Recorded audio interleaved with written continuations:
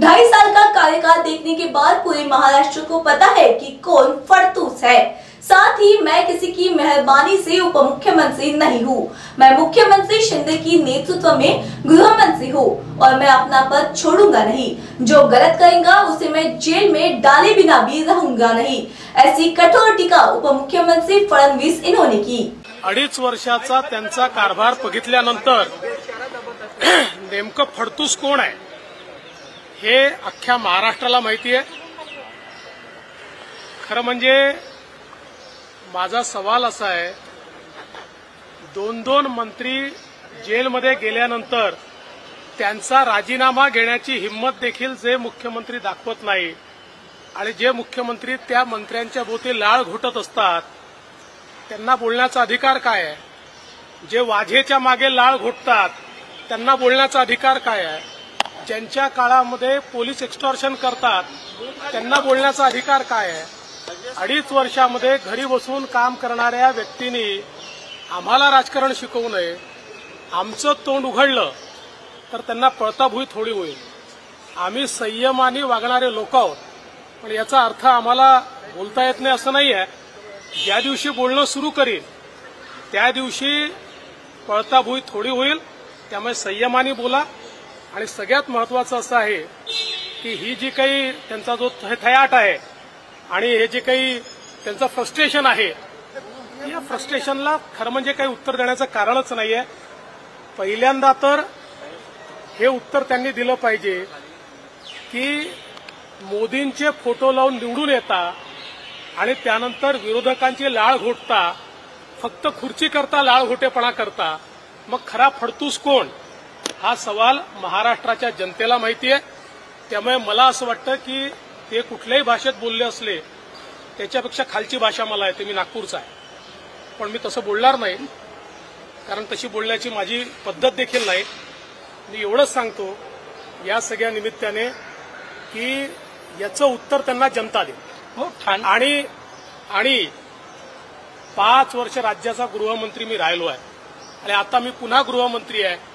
मला याची कल्पना आहे की मी गृहमंत्री असल्यामुळे अनेक लोकांना अडचणी होत आहेत. ते पाण्यात देव ठेवून बसले आहेत की मला गृहमंत्रीपद कसं सोडावं लागेल? पण मी त्यांना सांगतो मी गृहमंत्रीपद सोडणार नाही. तुमच्या मेहरबानीने गृहमंत्री नाही. मी या ठिकाणी मुख्यमंत्री एकनाथ शिंदे यांच्या नेतृत्वातल्या सरकारमध्ये गृहमंत्री आहे आणि जो जो चुकीचं काम करेल त्याला मी जेलमध्ये टाकल्याशिवाय राहणार नाही. कुठल्याही गोष्टीचं एखादी घटना घडली तर त्याची निष्पक्ष चौकशी ही निश्चितपणे आमचं सरकार करेल. पण त्याचं राजकारण करण्याचा प्रयत्न कोणी करू नये. राजकारण करण्याचा प्रयत्न केला तर ते योग्य देखील होणार नाही. त्यामुळे त्या संदर्भातही उचित चौकशी होईल. जे घडलं असेल कोणी चूक केली असेल त्याच्यावर कारवाई केली जाईल. जाणीवपूर्वक तुम्हाला टार्गेट केलं जात आहे का अशा पद्धतीनं?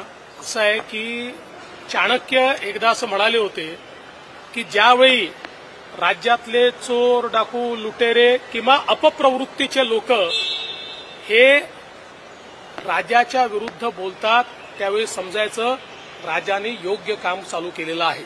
आणि मी राजा नाही पण तरी देखील तुमच्या हे लक्षात येत असेल चाणक्य जे म्हणाले तेच आता खरं होत आहे. देवेंद्र जी हिंदी में बताया ब- अ, ब- पूर्व मुख्यमंत्री उद्धव ठाकरे ने आपके ऊपर आरोप लगाया है आपके इस्तीफे की मांग तक कर डाली। जो भाषा उन्होंने इस्तेमाल की उन्होंने जो भाषा का इस्तेमाल किया है उससे नीचे की भाषा मुझे आती है। लेकिन मैं उसका इस्तेमाल नहीं करूँगा। उद्धव ठाकरे फ्रस्ट्रेशन में है। ढाई साल वो मुख्यमंत्री रहे घर से बाहर नहीं निकले।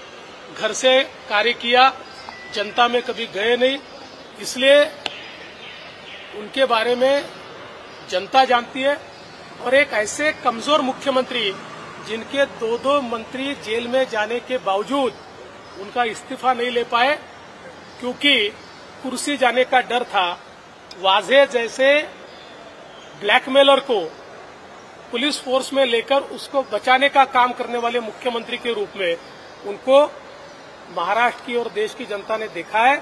इसलिए ऐसे व्यक्ति को मैं कोई महत्व नहीं देता जो सत्ता के लिए विचारों को लात मारते कुर्सी के लिए विचार छोड़ देते। हैं ऐसे व्यक्ति पर मैं बोलूँ ये मुझे ठीक नहीं लगता।